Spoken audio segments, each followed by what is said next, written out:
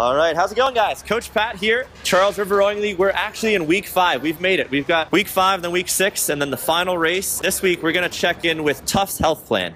We have Chris Block here.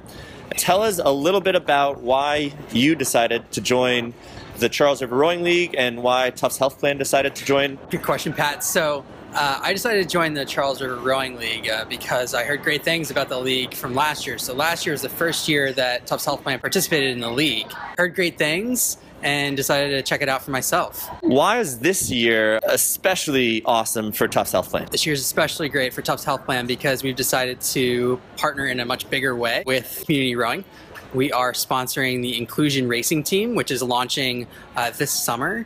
Uh, we'll be participating in a number of events this summer and in the fall.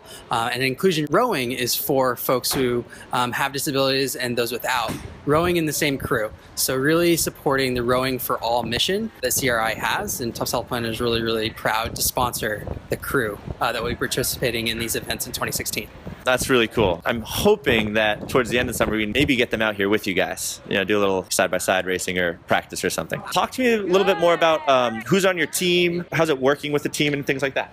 Yeah, so on our team, we have a really diverse mix of people. None of us have ever rowed before, so none of us have any rowing experience. Some of us have been around and seen a race or two here or there, but none of us have actually been on the water. We've got a mix of women and men, old and young. Uh, so it's a really, really nice group of people all in the same boat. It's a really, really great opportunity to get out, see the city, and see Boston in a very different way. And I've lived in Boston for 10 years, but I have a totally new perspective on the city um, after seeing it from the river on Wednesday nights, which I've affectionately called my sunset cruises on the Charles. So great to hear that. Final question What are you looking forward to, both next week and the rest of the summer? For the rest of the summer, I'm looking forward to great weather. We've been very lucky so far.